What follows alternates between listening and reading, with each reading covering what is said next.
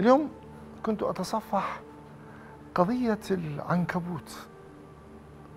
كم هي آية عظيمة أوجدها الله. أن لا أوهن بيت لبيت العنكبوت واهن طبعا هذا الوهن ليس فقط يعني قد يقول قائل من قال أن بيت العنكبوت يواهن يعني آه هذا الخيط الذي يلفه العنكبوت عن العقرب. هذا واهن.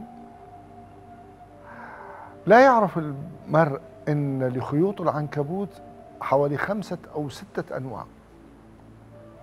ولماذا قال واهن؟ لأنه سائل يخرج من بعض بعض الثقوب في جسم العنكبوت ويخرج من بطنها من سائل. في غاية البساطة. مجرد أن يضرب الهواء يتصل ويصبح خيطا. غريب. يعني مجرد أن يخرج يتحول إلى خيط. وخيط قوي. ويبقى لزجا وطريا. كيف يكون صلبا؟